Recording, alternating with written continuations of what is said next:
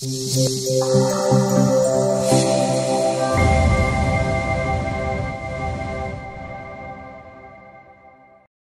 El Quinto Elemento, tu canal, y hoy tenemos una entrevista especial con David Gutiérrez del canal eh, Desmintiendo Mundo Desconocido. Hola, ¿cómo estás? Eh, muy buenas, Celine, y encantado de, estar aquí en tu canal. Muy agradecido por haberme invitado a tu casa. Y nada, estupendo y un saludo a toda la gente del canal del Quinto Elemento. Muchísimas gracias, David. Exactamente igual para ti, para tu audiencia. Y también me gustaría recordar que a David Gutiérrez lo conocimos por intermedio de eh, Revolution Awake, de la queridísima Brigitte. Por intermedio de ella tuvimos el contacto con David Gutiérrez. Muchas gracias y comenzamos. Eh, bueno, David, cuéntame eh, cómo fue eh, que empezaste con tu canal y hace cuánto tiempo has comenzado con tu canal. Pues mira, realmente han habido dos etapas en YouTube que he estado viviendo. La primera etapa que empezó hace dos años o tres, creo que tres años, tres temporadas, y era un canal que se dedicaba a desmentir a otros canales de ufología, de misterio. Yo vengo de la universidad, yo vengo de la, de la Facultad de Filosofía y Letras, de la carrera de Historia, y a nosotros nos, enseñan eh, ciencia empírica. Veía que no demostraban nada, que no traían datos, que no traían bibliografía, autores, demostraciones, experimentos, y durante aproximadamente un par de años me dediqué a desmentir, eh, a corregir, a refutar a otros canales del misterio, eh, pues como puede ser Mundo Desconocido, David Parcerisa y todos los más conocidos aquí de España, ¿no? Todo cambió justo hace un año, justo el 9 del 9 del 2019, ¿vale? Eh, hubo una tormenta eléctrica gigante como nunca habíamos visto en nuestra ciudad y a raíz de estar grabando la tormenta eléctrica descubrimos unas luces en, los vídeos de un periódico, en los vídeos que mm, un periódico público, un periódico que se llama Agencia 6, descubrimos unas luces que se movían, unas anomalías atmosféricas. Bueno, nosotros nos pusimos en contacto con este periódico, nos pusimos en contacto con su director y le pedimos las, eh, capturas originales. ¿Y cuál fue nuestra sorpresa? Que cuando analizamos fotograma a fotograma todas esas mm, vídeos, todas esas capturas de las tormentas eléctricas, pues nos dimos cuenta de que ahí habían una serie de anomalías atmosféricas que no se pueden explicar. Habían luces, habían bolas, habían objetos dentro de las nubes. Y claro, yo venía de, como ya te he dicho, yo vengo de la ciencia empírica, vengo de la universidad yo todo eso no me lo esperaba, fue un gran revés para mis creencias, fue un gran revés eh, para lo que yo concebía, como yo concebía la realidad hasta ese momento, una realidad sin secretos, una realidad estadística, de física y química que se puede explicar con valores matemáticos, una realidad de gravimétrica, una, eh, una, una realidad de energética, pero nunca nunca esperé encontrar una realidad oculta a los ojos del ser humano, de nuestra especie, ¿no? Y bueno, cuando, cuando yo pensaba que no se podía poner la cosa peor, cuando yo pensaba que ya había tocado techo eh, y había removido todas mis creencias, fue, pues ya descubrí que este periódico con el que yo empecé a trabajar, porque dio la casualidad de que empecé a trabajar con este periódico, Agencia 6, pues bueno, descubrí que estaban acusados de ser los hackers más peligrosos del mundo, de haber hackeado a Julian Assange, a Wikileaks, y esto derivó en que una serie de escuchas, una serie de hackeos que nos hicieron, nos llamó NASA, eh, nos llamó la, Academia de las Artes y las Ciencias de Estados Unidos, y al final todo acabó en una, en una desdicha, ¿no? Porque lo que al principio parecía una aventura interesante, pues acabó en una serie de hackeos a nuestros ordenadores, escuchas, eh, nos fotografiaban por la calle, nos hacían, nos vigilaban. Y bueno, la verdad que yo tampoco entiendo muy bien cómo me, metí en toda esta, toda esta película, todo este aborigen de circunstancias que una tras otra me fue llevando pues, a una situación surrealista, una situación en la que estaba metida NASA, los periódicos, eh, espionajes, hackers, eh, ovnis, vamos, una cosa que yo en mi vida ni en, el, ni en mis sueños hubiera podido imaginar algo así. Eh, una pregunta, David. Cuando tú dices que recibieron mensajes de, bueno, de la NASA y de la Academia de Ciencias y Artes de Estados Unidos, ¿esos mensajes fueron vía correo electrónico o también los han llamado por teléfono? No, ha sido vía correo electrónico. De hecho, eh, nosotros hemos, hemos aportado todas las pruebas a periódicos y de hecho en el documental, en la película, están todos los emails. Mira, eh, Celín, eh, te digo, te doy un dato. Eh, la Academia de las Artes y las Ciencias no tiene un email público para que tú contactes con ellos. Es una academia que ellos contactan, contactan contigo y te dan un código para entrar en la bandeja de emails y poder contactar. Nosotros en, los eh, emails de NASA y en los emails que tenemos oficiales, una de las coletillas que pone, una de las marcas de agua o etiquetas que tiene los emails es que toda la información, todo eh, el, tráfico que se genera a raíz de estos emails es personal e intransferible y puede contener o contiene secretos que, de ser publicados, violan todas las leyes de Estados Unidos. Y acaba diciendo, si usted está leyendo este email y no es el propietario de la cuenta, cierra ahora mismo toda, eh, cierra ahora mismo la sesión o si ha encontrado un pendrive con esta información, póngase en comunicación con las autoridades. Lo que te quiero decir con esto es que la NASA, los comandantes de la NASA o la Academia de las Ciencias y las Artes no tienen un email oficial para que tú te pongas en contacto con ellos. Tú no te puedes poner en contacto con ellos. Son ellos los que te llaman a ti. ¿Por qué pasó esto? Mira, todo esto fue, creo yo, ¿eh? porque le quiero poner lógica y a veces se me escapa a mí mismo, ¿no? Porque aquí hay demasiadas cosas que yo tampoco entiendo, ¿no? Cómo pasaron. Pero yo creo que lo que pasó fue que eh, alguien llamó a NASA.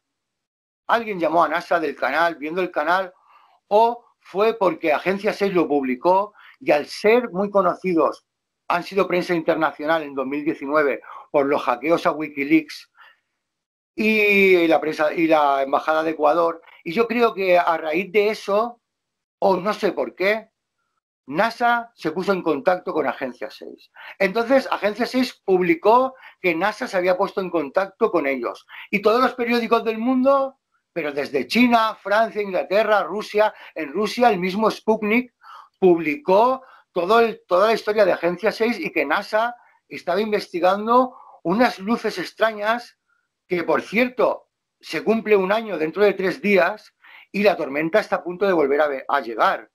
La tormenta de la Dana, como se le llama científicamente, una tormenta eléctrica, o gota fría, también se le llama la gota fría tradicionalmente, solo le quedan tres días para volver a Alicante, pero es que la tormenta del año pasado no fue natural. No, ahí había algo aparte de la meteorología, aparte de los ciclos de la lluvia y de todo esto, de la condensación, aparte del, vuelco, eh, de temperatura térmico que se produce en la atmósfera, porque nosotros en la universidad hemos estudiado climatología y hemos estudiado física del geoide y hemos estudiado geografía física. Conocemos perfectamente los ciclos de la lluvia, los ciclos del agua, las densidades, cómo se forman eh, pues tanto eh, un anticiclón como una borrasca, tanto en cada hemisferio, entendemos, entendemos de meteorología, por lo menos un nivel medio. Y esto no era natural, ¿vale? Eh, ¿Cómo se metió la NASA? ¿Cómo se metió Agencia 6 o cómo acabé yo metido en toda esta historia? Pues yo aún me lo pregunto y pues es una cosa que realmente me ha traído más Mm, malos momentos o más quebraderos de cabeza, más problemas en la cabeza que alegrías, ¿sabes? Seguro. Eh, una pregunta, cuando tú dices que era una tormenta anormal o que no igual que las anteriores, ¿a qué te referís? Porque no había, no había sonido de truenos, eran solamente que tú veías los rayos en el cielo o que aparecía. Te explico esto, ¿sabes por qué? Porque yo vivo a más de 10.000 kilómetros de distancia de donde estás tú. ¿Ok? Yo estoy en el medio del centro del mundo, aquí en el Caribe, y a mí hace años atrás me llamó mucho la atención como yo sentada de la terraza de casa podía ver a lo lejos esos rayos y sin ruido. Y cada dos por tres aquí se manifiesta exactamente lo mismo. Me llama mucho la atención porque estamos a una distancia bastante considerable y parece ser que sucede lo mismo, a diferencia de que, bueno, vos te diste cuenta el año pasado, pero yo me vengo dando cuenta hace ya como cinco años atrás. Y cuando hay una tormenta eléctrica potente, aquí se escuchan los ruidos, o sea, todos los truenos a todo dar, que parece que revienta todo. Pero eh, eso es lo que me llama la atención. ¿A qué conclusión tú has llegado después de toda tu investigación? Porque tú investigas actualmente todo esto y con ya cámaras potentes, cámaras que son infrarrojas. ¿Cuál es tu conclusión de todo o, o lo que tú quieras comentar ¿Cómo has visto el progreso en esto a partir de tu investigación? Mira, has dado, eh, has puesto el dedo en la llaga, has dado en el clavo. ¿Por qué no suenan los truenos? ¿Por qué cuando hay eh, relámpagos y rayos, precisamente un trueno se produce justo después de un relámpago de un rayo? ¿Por qué? Yo te lo voy a explicar. El rayo o el relámpago lo que hace es calentar a muy alta temperatura el aire en muy breve espacio de tiempo. El aire caliente se dilata. Se dilata, todo el mundo sabe que el aire caliente se dilata eh, y cuando se enfría de golpe y llega eh, a las partes frías de la nube, se contrae. Vale, esa dilatación y contracción del aire rápidamente, brusca, produce un ruido. Por lo tanto, igual que pinchar un globo y su sonido forman parte de una cadena indisoluble porque el sonido es consecuencia de la explosión del aire, un rayo o un relámpago va siempre asociado a un trueno, a una expansión y contracción del aire. Bien, lo primero es que no suenan los, los, no hay truenos. Lo segundo, la cantidad de rayos y de relámpagos. La luminosidad no encaja. Además, eran predecibles. Solamente aparecían en tres zonas concretas, aquí, aquí y aquí. En tres zonas donde habían relámpagos, flashes. Pero en esos flashes no habían rayos y luego habían dos partes de la, dos partes de la imagen. Nosotros hemos analizado más de 12 minutos fotograma a fotograma y hay dos partes del cielo donde aparecen rayos y tres partes donde aparecen flashes. Pero esos flashes llega un momento que son predecibles, porque va el de arriba, el de abajo, el de la izquierda, el de abajo, el de arriba, el de la izquierda, el de la izquierda, el de arriba, y tú dices, ahora viene el de abajo. Y le das y viene el de abajo. Y es que debido a la aleatoriedad, a la dinámica de los fluidos, debido a la velocidad de la luz y a un montón de cosas. No pueden ser predecibles las luces de una tormenta. Nosotros las hemos predecido. Otra cosa, rayos que se repiten, rayos que son exactamente iguales, pero tan iguales, tan iguales, que hicimos un experimento, cogimos un rayo en la, en la pantalla, esto en un directo, ¿vale? Cogimos un rayo, le dimos a la pausa y pusimos un folio, un papel encima con un marcador, con un rotulador, calcamos el rayo encima de la pantalla y lo apartamos.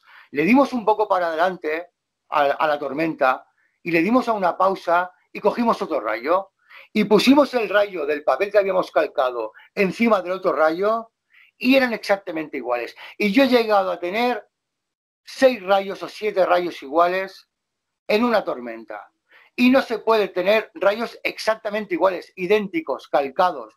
¿Por qué? Pues por todo, por la dinámica de los fluidos, por la, por la física, por las leyes de la termodinámica, por la velocidad de, luz, de, la luz, por el comportamiento del plasma. Hay mil motivos por los que no pueden ser tantos rayos iguales. Entonces, te digo de corazón que aunque yo soy un escéptico y muy, muy aficionado a la ciencia, a la ciencia esta de universidad, a la ciencia ortodoxa, a la ciencia tradicional, pues muy a mi pesar, te tengo que decir, os tengo que contar a todos que a veces hay unas intervenciones en el clima y en muchas más cosas que no son, no son reales. No son reales. Mira, David, eh, yo ahora estaba, mientras que estabas hablando, me estoy recordando que en un video yo subí eh, una parte de mm, eh, cómo se veía una nave arriba, creo que fue en Río de Janeiro, en Brasil fue. Se veía como una, una nube camuflada, pero que se denotaba muy bien la nave y salía un rayo que venía desde arriba hacia abajo y después se vio el rayo que subía una cosa extraña. Yo dije, pero ¿cómo puede ser que un rayo suba? Normalmente, como tú estás explicando, los rayos caen, no suben. Y lo hacía específicamente sobre un edificio. Entonces, ¿qué quiere decir esto, David?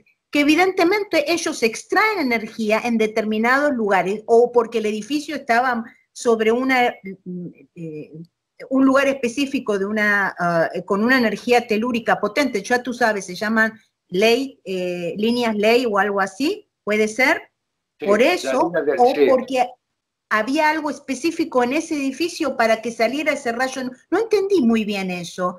Em, cuando encuentre todo eso, yo te voy a mandar la foto para que la analices en todo caso y la puedas este, investigar a ver qué es lo que sucedió. Hay otra cosa que te quiero comentar, porque esto eh, lo sabe mucha gente, em, en Zárate, en la provincia de Buenos Aires, para el norte, para el lado pegando a, la, provincia de Entre Ríos, ahí en el camino hay un pueblo que se llama Zárate, que es una ciudad importante, y tiene una planta nuclear que funciona para la energía hidroeléctrica.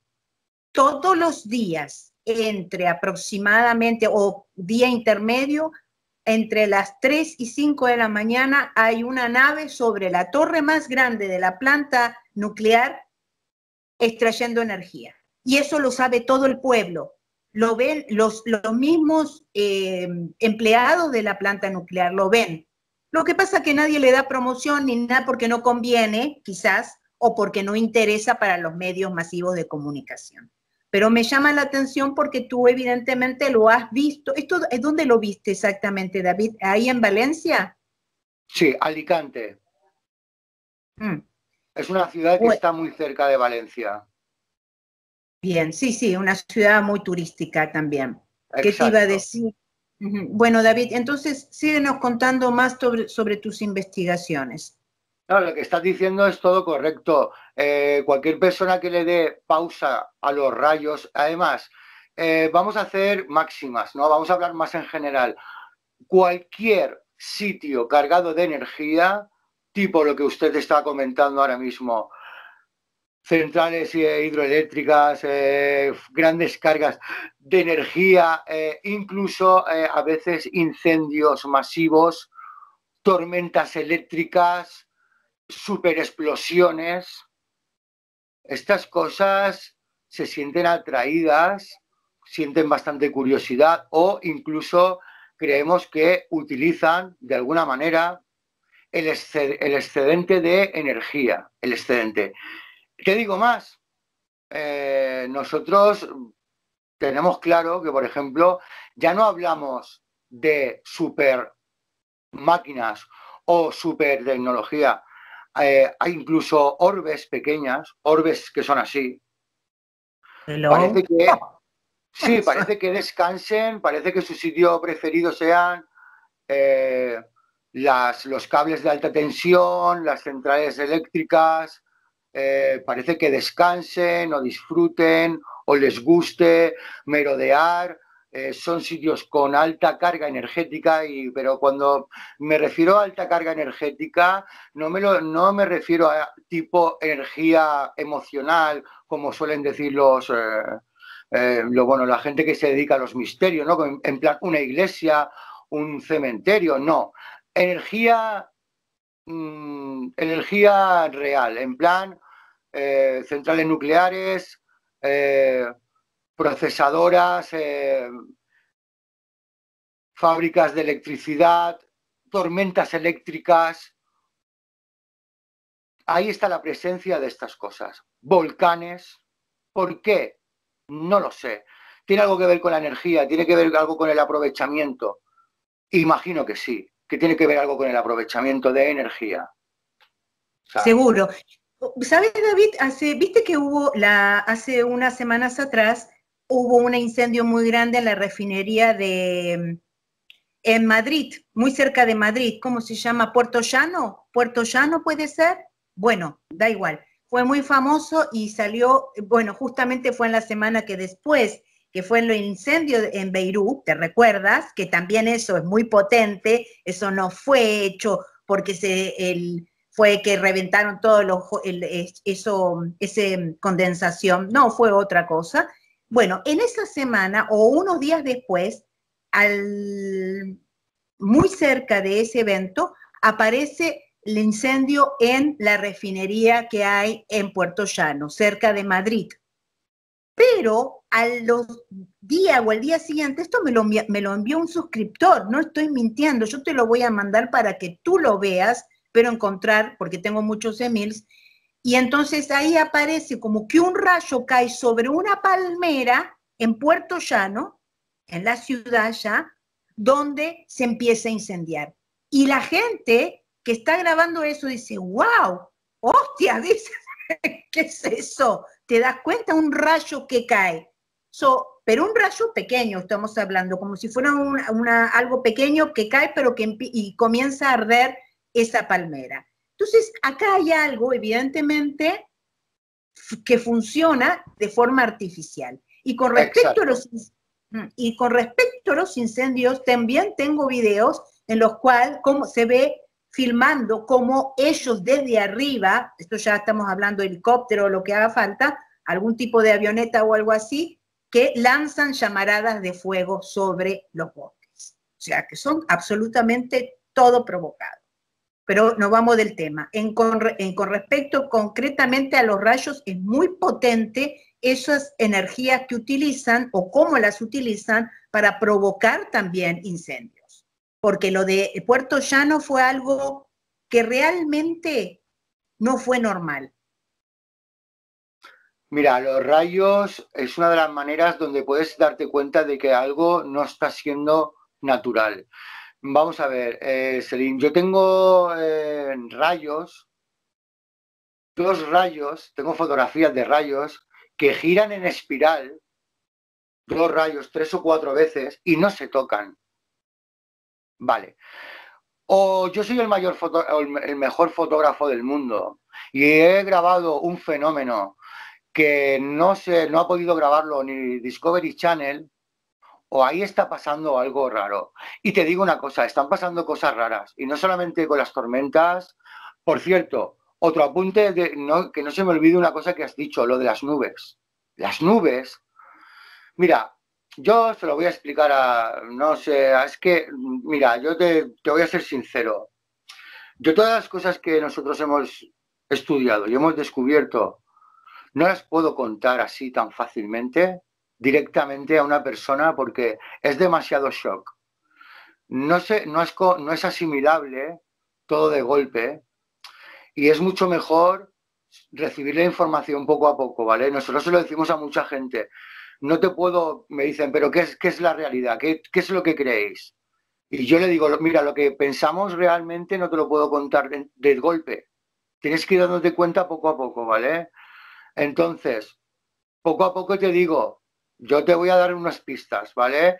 O le voy a dar unas pistas a la gente de los suscriptores de tu canal. Mira, por un lado están la meteorología, ¿vale? Hay cosas en las nubes, se esconden en las nubes. Andrea Faber-Kaiser ya escribió un libro que se llamaba Las nubes del engaño. Era un hombre, el mejor investigador que ha habido en España, hace tiempo ya, ya falleció, un hombre muy serio, con muy buenos contactos en Estados Unidos y él ya hablaba de las nubes del engaño, que está pasando algo, ¿vale? Por otro lado, hay aparte tecnología. Hay aeronaves, hay no sé si son aeronaves, porque no sé si están tripuladas o hay algo dentro, pero hay tecnología eh, artificial, manufacturada, ¿vale?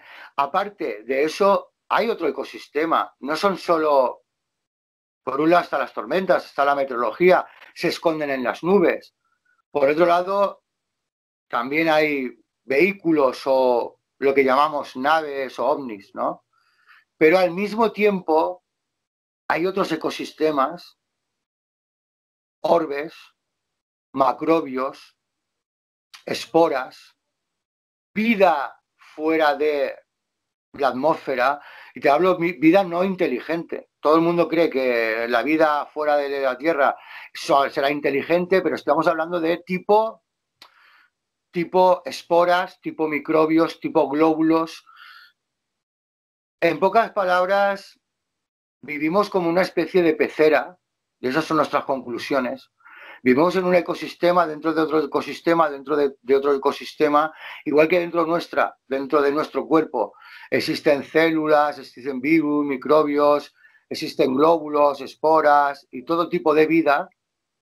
Nosotros solamente somos pequeñísimos elementos, insignificantes elementos dentro de otros ecosistemas que no podemos ver y por eso utilizamos el infrarrojo, por eso utilizamos el ultravioleta, por eso utilizamos láser, porque estamos hablando de cosas que a simple vista no las puedes ver, ¿vale? En las tormentas eléctricas, que es como yo empecé. Yo empecé con el sistema de fotograma a fotograma. Y fotograma a fotograma, y con mucha paciencia, hay fotogramas, hay clips, hay trocitos donde ves que las cosas no son reales, que salen máquinas de las nubes, porque no es perfecto el camuflaje. Como tú decías, como usted decía, pues se camuflan en las nubes, se camuflan en los rayos, se camuflan tirando eh, fogonazos de luz, pero esos camuflajes no son perfectos. Y cuando tú das fotograma a fotograma, puedes ver algo, puedes ver algo, pero cuando pasas a rangos de visión que están fuera del ojo humano, cuando pasas al infrarrojo, cuando pasas al ultravioleta, cuando pasas a las cámaras de la NASA, no hace falta que uno, que yo, que usted lo grabe o yo lo grabe. Solo hay que ver los incidentes TITER, las, las eh, misiones de NASA, los Apolos, la Taipei, la Falcon, en todas las emisiones de NASA o de SpaceX o de eh, los rusos, da igual, salen bolas, pasan cosas. Y es que aquí hay algo más. Mira, aquí hay algo más que bolas, hay algo más que orbes pequeñas, hay algo más que orbes grandes, que macrobios, hay algo más que ovnis, hay algo más que cosas en las nubes escondidas, sino que está todo eso y muchísimas cosas más que no podemos ver.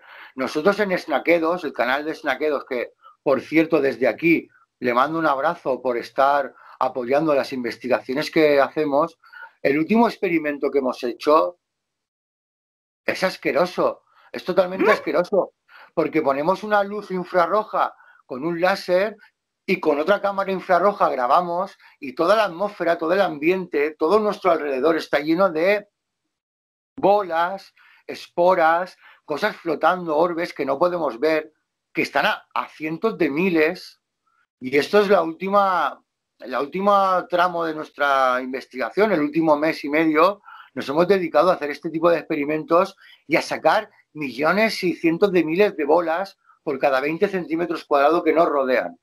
Parece que vivamos, además esas cosas, parece que floten o naden, son tipo espermatozoides, son tipo células, son tipo esporas, parece que estés viendo un una sopa biológica en el microscopio o agua de mar y esa es la realidad de lo que nos rodea. Mira, tenía, yo siempre he sido muy escéptico, nunca he creído nada de nadie, pero tenía una parte de los terraplanistas, tenían una parte de razón, que hay un éter, que vivimos como en un líquido, como un elemento acuoso. Eh, tenían una parte, porque las Google Space, esos que decían ellos que, que eran burbujas de agua, no eran burbujas de agua, pero es verdad que hay bolas en el espacio y son seres, son seres eh, biológicos, entidades biológicas que están saturando tanto el espacio como nuestra atmósfera. Y si ahora mismo en tu casa, en tu casa, Celine, yo estas cosas las estamos perfeccionando para poder hacer experimentos por toda España y hacer demostraciones. Pusiéramos un láser azul eh, con ultravioletas y pusiéramos unas cámaras infrarrojas, tú no te creerías todo el ecosistema que nos está rodeando ahora mismo. Es algo bastante preocupante, ¿vale? Sí, yo te creo porque hace cuatro años atrás yo había decorado la habitación mía de una manera especial. La cámara era chiquitita, pero era una de estas potentes, era una de, eh, es una japonesa, no recuerdo el nombre porque soy malísima para eso, pero em, era, la había comprado hacía muy poco, recientemente, ponele que la compré en septiembre y saco la foto en mi casa en octubre, adentro. Y yo vi lo que tú dices, la, eh, la cámara captó una esfera pequeña que tendría como unos, un diámetro de 10 centímetros de diámetro, no más, una, para que te des una idea, como si fuera una bola de, una pelota de tenis, algo así, o un poquito más chiquito, igual. La capté en la cabecera de la cama del lado mío. Y yo dije, ¿y esto qué es? Ahí la tengo guardada. Pero la cámara mía, como vuelvo y te repito, no es ni infrarroja, ni ultravioleta, ni nada por el estilo, pero la captó. Pues hay muchísimas. Hay como una pelota de tenis, hay como la punta de un bolígrafo, como la punta de este bolígrafo, como pelotas de tenis y hay algunas que son eh, siete, ocho veces más grandes que nuestro planeta. En las ondas ojo, nosotros somos muy aficionados y para demostrar todas estas cosas que te estoy diciendo o para intentar demostrarlas, no paramos de utilizar distintos sistemas, no solamente nuestras propias cámaras, nuestras propias investigaciones, sino que escrutamos todas las emisiones de NASA, las sondas eh, solares, las sondas SOHO, eh, cámaras que están colocadas desde la Estación Internacional. Y mira, te digo, es más fácil encontrar, porque encontramos anomalías en todas, en todas y cada una de las emisiones de NASA, eh, ¿Qué pasa aquí? ¿Por qué la gente no se ha dado cuenta? ¿Por qué no, hay, no se despierta la gente? Bien, mira, es lo que hablábamos antes of the record, ¿no? Cuando me decías, pero desmintiendo Mundo Desconocido tiene algo que ver con este canal español, Mundo Desconocido. Pues sí, tiene algo que ver porque eh, cuando empezamos a desviar el tema, cuando empezamos a contar, a mezclar la literatura, con el misterio y las fábulas y los cuentos. Esto lo que nos hace cada vez son más ignorantes al humano, al ser humano, nos hace cada vez más ignorantes. Entonces yo eh, lucho, me, considero un guerrero contra la difamación de ignorancia, la propagación de, eh, de la fantasía, ¿no? Hay tanto mezclige, hay tanto, mm, tanta paja en este mundo de la investigación. Hay tanta paja en este mundo de, de la ufología, de las anomalías, que realmente no queda hueco, no se sabe, nunca vas a poder discernir. Es como un carnaval, es como un carnaval en una ciudad grande. Es muy difícil identificar quién es quién, hay demasiada gente disfrazada y a mí me pasó una vez te lo cuento como anécdota, pero porque lo veo un buen paralelismo, ¿no? A mí me pasó una vez que yo estaba en carnaval y venían dos, bueno, claro, todo el mundo estaba disfrazado, todo el mundo estaba bailando, había de todo, Dráculas, de todo, bueno, toda la noche viendo gente disfrazada y pasaron por al lado dos policías y yo pensaba que estaban disfrazados. Y no estaban disfrazados, eran dos policías de verdad, ¿vale? Bien, esto es lo que pasa con el mundo del misterio. Cuando el mundo del misterio, el mundo de la investigación es un carnaval y va todo el mundo disfrazado, tú no puedes eh, discernir, identificar bien una persona que no va disfrazada y que realmente lo que está enseñando es su traje real, su trabajo, ¿no? Entonces, eh, yo luchaba contra las mentiras de YouTube.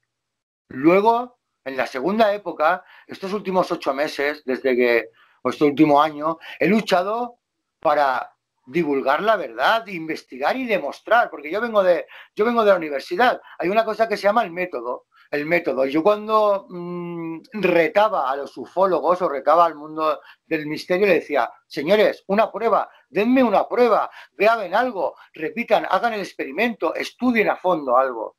Bueno, yo cuando descubrí todo esto me vi en la obligación de profundizar, de no que no es un tema pasajero. Llevamos ya 10 meses, 11 meses, una, un equipo de 12 personas, que desde aquí le mando un abrazo a todo Ufopedia, y un equipo de 12 personas que se está gastando el dinero en telescopios, en trípodes, en cámaras eh, infrarrojas, en soportes, y esto lleva una inversión.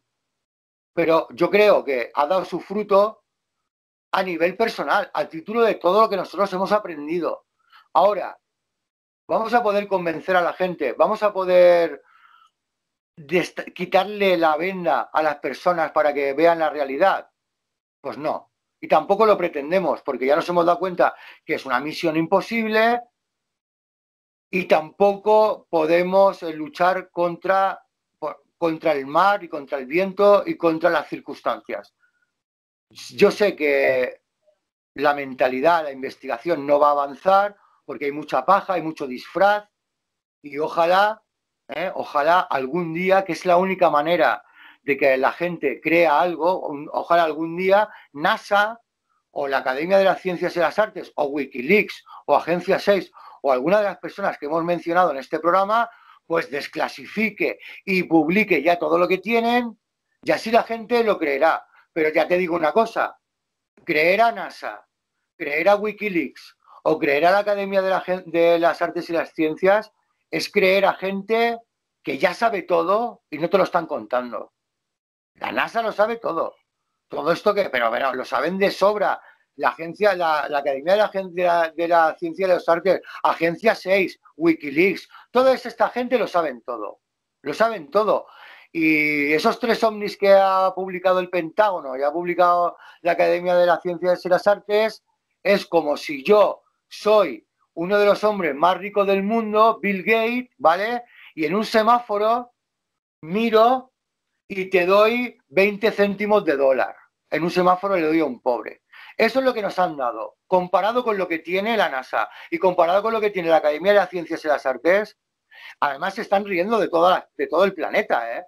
Cuando, cuando Pero sí, por supuesto, David, perdona que te corte ahí, tú tienes mucha razón. Mi padre era piloto civil en aviación, técnico mecánico civil e ingeniero de vuelo cuando los, los aviones no tenían las computadoras, ¿no?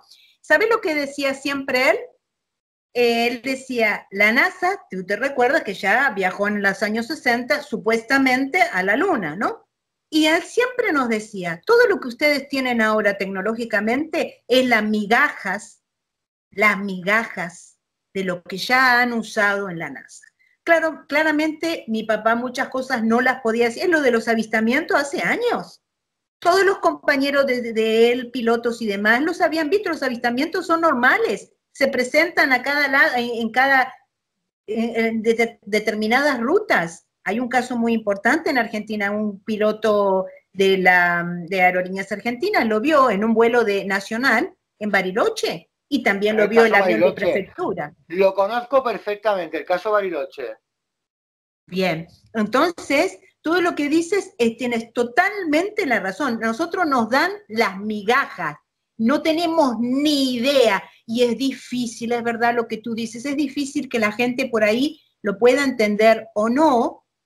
Eh, también, viste, David, hay mucha programación predictiva y hay canales, como tú dices, sin nombrar nombres, o sea, eh, de canales ya sea en esta plataforma, en donde eh, definitivamente este, están actuando en favor de esa programación predictiva. Y son fábulas a propósito para seguir confundiendo a la gente.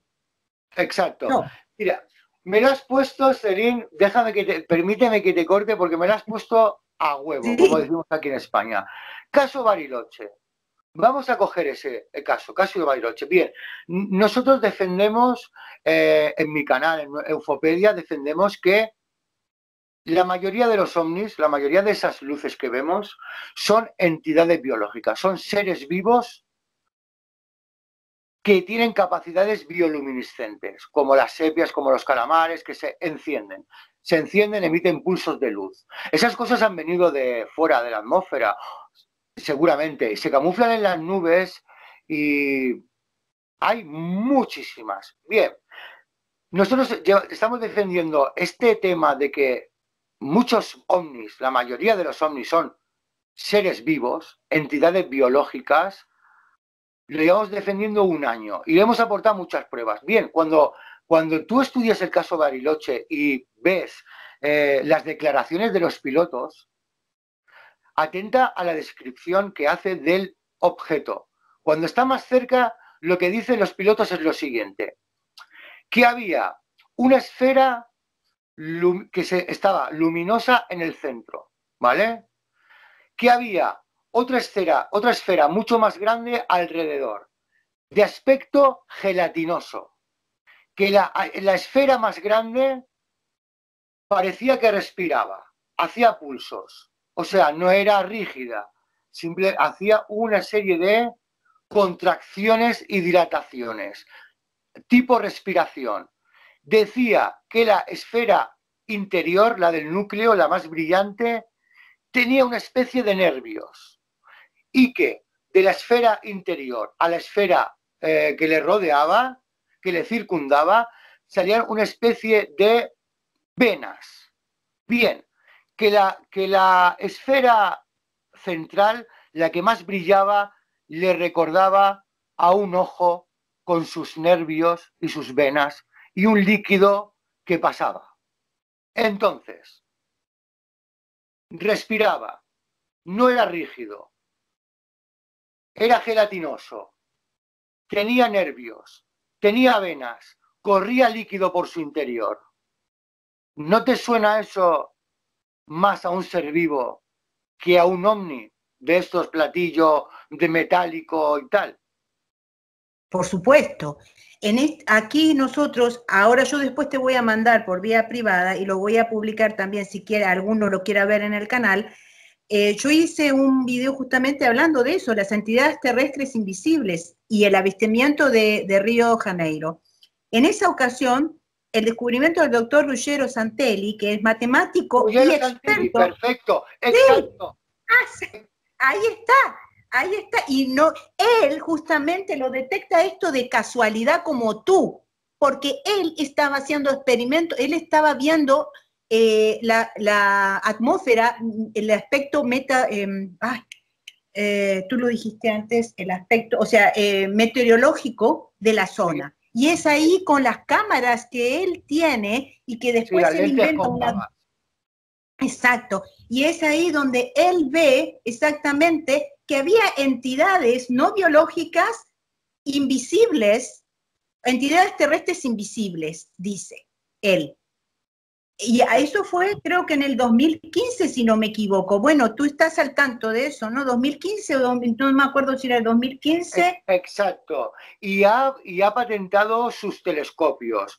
Eh, su, eh, su empresa se llama Thunder Energy y está patentando los. Y estamos hablando de una de las personas con más estudios y con más currículum del planeta. O sea, Ruggiero Santini eh, tiene la cátedra, el doctorado en Harvard, en Harvard, ¿vale? Ha, ejercido de catedrático en la Universidad de Harvard. Bien, ha, mm, refutado y ha eh, contradecido y repasado las teorías de la relatividad de Einstein.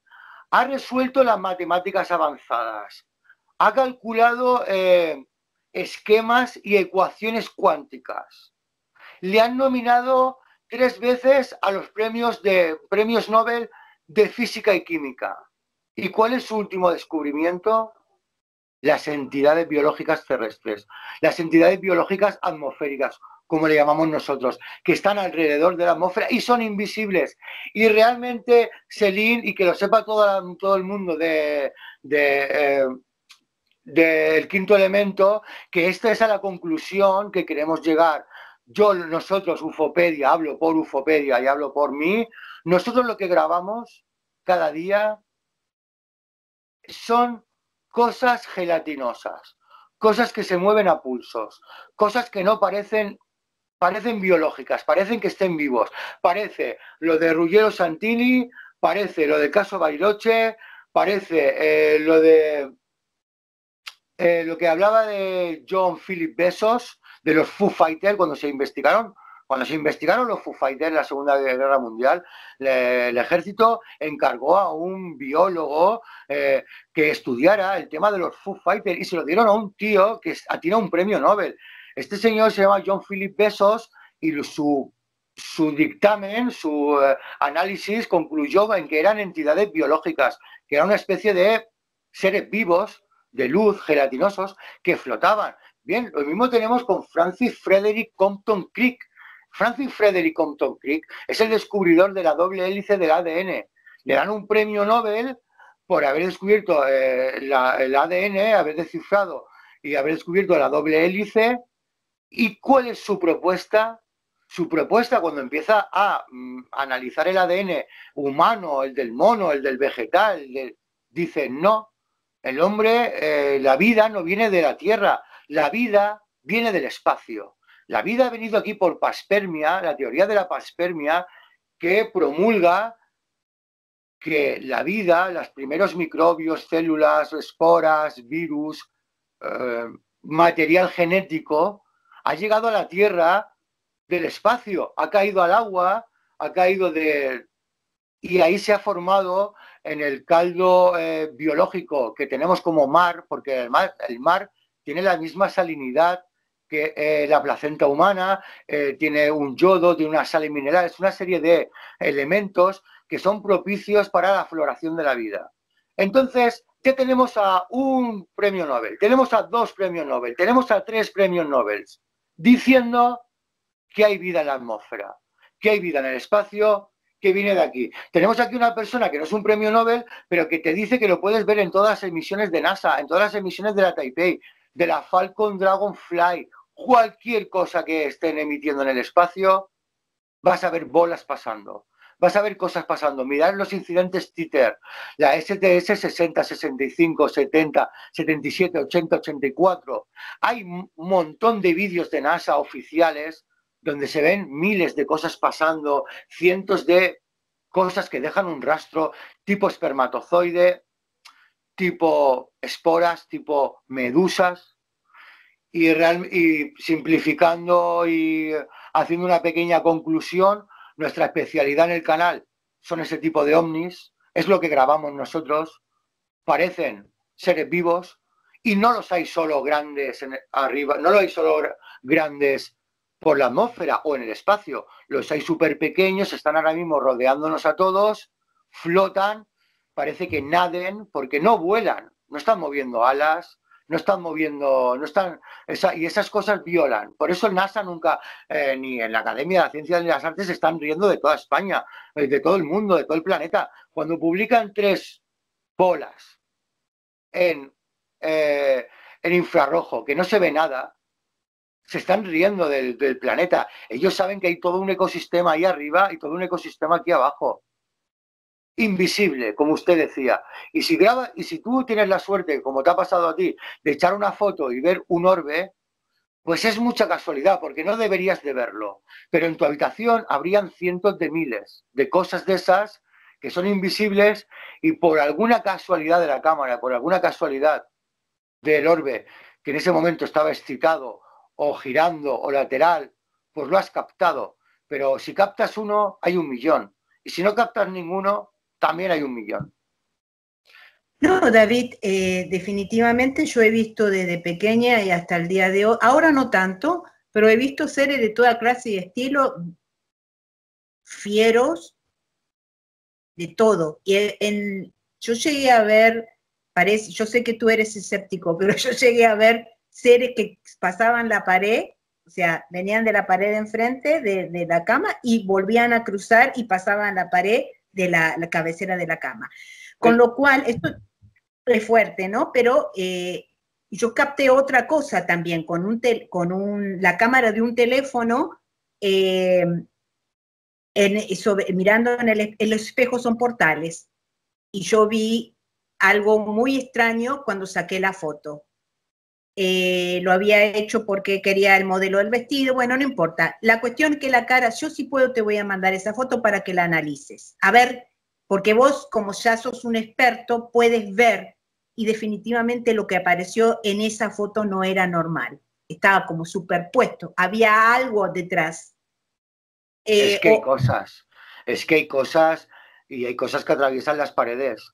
Es que hay manchas, hay sombras, eh, hay orbes, eh, hay todo tipo de cosas que yo no puedo decirte exactamente qué son, porque no he podido atrapar una y estudiarla como yo quisiera, ¿no? Eh, lo que te, en pocas palabras, hay un mundo invisible. Tal cual. Como decía nuestro famoso este, Santilli, tal cual, sobre los seres terrestres invisibles. Yo ya he entendido, claro, Selim, mira, yo ya he entendido también me pongo en el lugar, en, el, en la cabeza de la gente, del espectador, del observador, del que la persona que tiene la experiencia, yo me pongo en su cabeza y entiendo ya, entiendo ya que hay personas que lo, eh, lo achacan a, lo, lo, interpretan como fantasmas, hay personas que lo interpretan como arcontes, hay personas que lo, lo interpretan como aliens, hay personas que lo interpretan como ángeles, hay personas que lo interpretan como entidades biológicas, como yo, otros como eh, seres de luz, está el prana, están los seres de bajo astral, están los seres elementales, eh, y toda una, eh, nos podríamos aquí hacer una lista de seres de distintos, son distintas formas de llamarlo, pero que al final es lo mismo. Yo te puedo asegurar que puedo poner la mano en el fuego y demostrar a usted y a cualquier persona del planeta que nos esté escuchando, a raíz de experimentos y con una serie de técnicas, yo puedo demostrarle a cualquiera que estamos rodeados de unas cosas, porque yo no me atrevo a saber lo que son, que son etéricas, parecen a veces etéricas, a veces no parecen físicas, a veces son más grandes, a veces son oscuras, y que no puedo, no me atrevería, no me atrevo, pues a, ponerles una etiqueta exacta. Si son seres, almas, hay gente que dice que son almas, otros que son ángeles de la guarda, otros que son simplemente tipo de como bichos, como animales, como entidades biológicas que no son más inteligentes que un pájaro, más inteligentes que un, que un perro o que un canino. Eh, yo creo que hay de todo. Algunas sí que parecen más inteligentes, otras no. No, pero, pero en pocas palabras, para dejar, para dejar, para ser eh, arbitrario, para ser salomónico, le tengo que decir a toda esa gente, toda esa gente que cree en fantasmas, ángeles, arcontes, orbes, ovnis, lo que sea, que sí que, que sí que están, que sí que están no sé exactamente si son lo que usted piensa, lo que piensa usted, lo que piensa usted, pero hay un mundo que no podemos ver, hay un mundo invisible y no es lo que a mí más me sorprendió toda esta historia, lo que más me sorprendió es que no es una cosa que pasa una vez a la semana o pasa una vez al mes, eso está siempre ahí. Si tú utilizas las técnicas adecuadas, cámaras, una serie de técnicas y de fotografías o de avistamiento, de formas de verlo, de técnicas, disciplinas o metodología. Esto siempre está ahí. Siempre nos acompaña. Lo único que nosotros no podemos verlo.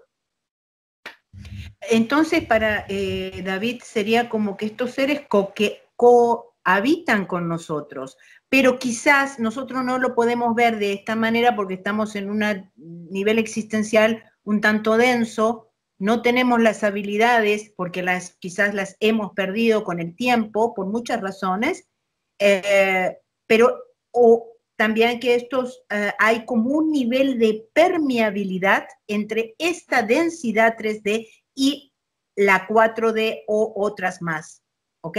Con la cual eh, solamente en este caso lo pueden captar las cámaras como tú usas, cámaras que son eh, ultravioleta, infrarrojas y todo esto, y ah, o algunas veces como capté yo de casualidad, vi esa, esa orbe dentro de mi cuarto, que fue una cámara normal. Ni, yo no utilicé nada, ni flash, nada, así, paf, hice la foto y ahí estaba.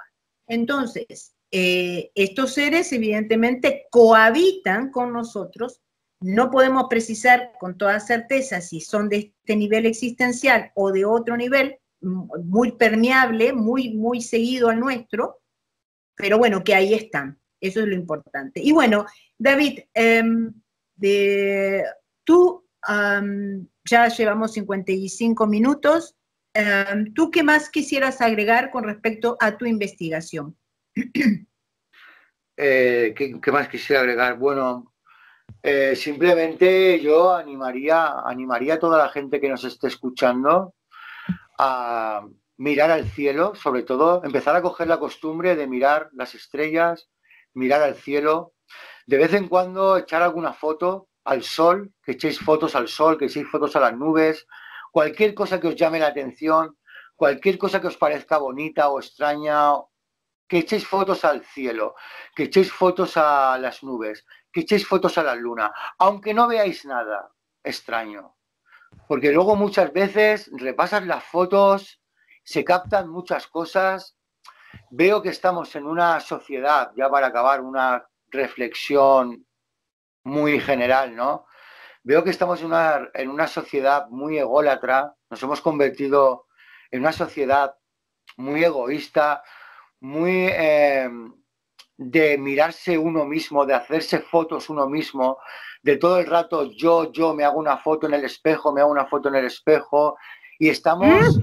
eh, entre, entre los edificios altos que nos tapan los laterales, las farolas de la noche que nos, nos impiden mirar para arriba y nos deslumbran, y los móviles, que vamos siempre mirando las redes sociales o las fotos que nos hacemos nosotros, nos estamos eh, olvidando de la magnificencia, de la magnitud superlativa que tenemos alrededor nuestra, que es muy grande, que es muy bonito de captarlo, a veces da miedo, porque a veces captas cosas que no te esperas, da miedo, pero es muy interesante, es muy intrigante, emocionante y creo que te ayuda a conocer en qué mundo estamos viviendo, que no es un mundo que se acaba con el asfalto, con la atmósfera o con la roca, sino que después de la roca, después de la atmósfera,